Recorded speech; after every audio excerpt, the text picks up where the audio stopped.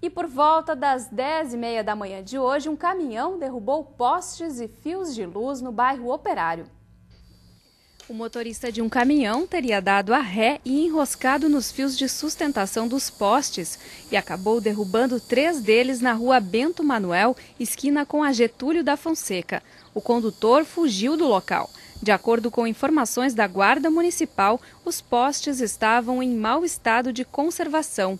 Ainda segundo a Guarda, no início da tarde de hoje, a AS Sul já havia feito os concertos no local.